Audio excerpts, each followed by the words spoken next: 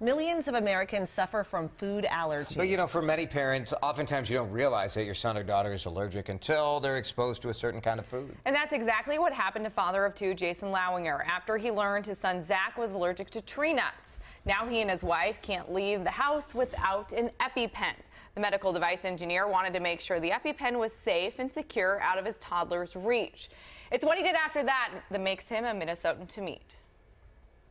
Like many Minnesotans, the Lawinger family spends their summers up at the family cabin. I was up there having some cashews and using the classic, uh, what I call the cabin napkin, wiping, you know, the, the uh, wiping it on my shirt. But an afternoon snack at the lake turned into quite the scare for this father of two, Jason Lawinger. We were wrestling around, having a really good time. When he, when he got done, he's giggling. He looks up at me, and his face is full of welts.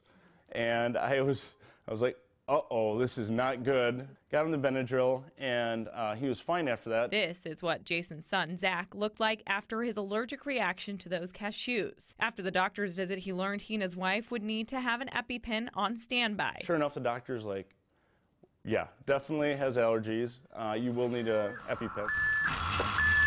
But the toddler got his hands on the replica pen during the doctor's visit. Right then, Jason knew he needed a solution. Zach had saw that, and it's kind of a colorful trainer. So he handed it over to Zach because he wanted it. He was like, oh, that, that, that. And I uh, handed it over to him. Zach grabs it. First thing he does is bites off the blue safety cap, spits it out, and now he's running around with this, you know, what would be a live EpiPen. The full-time you know, medical device engineer with more than a decade of experience decided to do something about it. I could not find anything that would be uh, robust, strong, and, and waterproof and, and kind of kid-proof at the same time. So with a 3D printer at his home, this dad got to work. That's where the idea of the uh, push down and turn cap came from.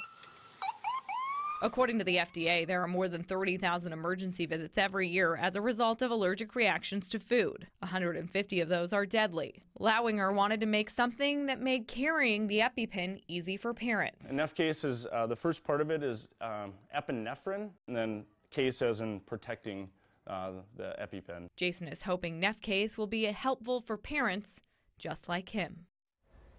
Mm-hmm. So it took Jason about a year from start to finish to design and launch the product. So we have some in here in studio, and I can tell you that his son Zach was trying to open this with the EpiPen inside couldn't do it. But it's very simple. It's just like any prescriptions that you have sure. in your home. It's the similar style of case, and it can hold two of those EpiPens inside. I think it's amazing that, you know, if this were 10 years ago, you had an idea like that, it would take so much longer to actually go through that manufacturing. And execute -hmm. it. But he just, you know, get the 3D printer, give it a few tries. It does help that he is right, right. Yeah. he's an engineer, so he, he, does this for a living, but right. this is something yeah. he did separate from his job and he's hoping that it catches on. Just launched a month ago. Wow. 15 bucks? 15 bucks. Mm. You can get it. And those EpiPens are very expensive, so yeah. I know par parents who own those would appreciate I'm it. sure yeah. he's not the first parent that has wanted something like this, yeah. and now we have it. Mm -hmm. Ali, thank you.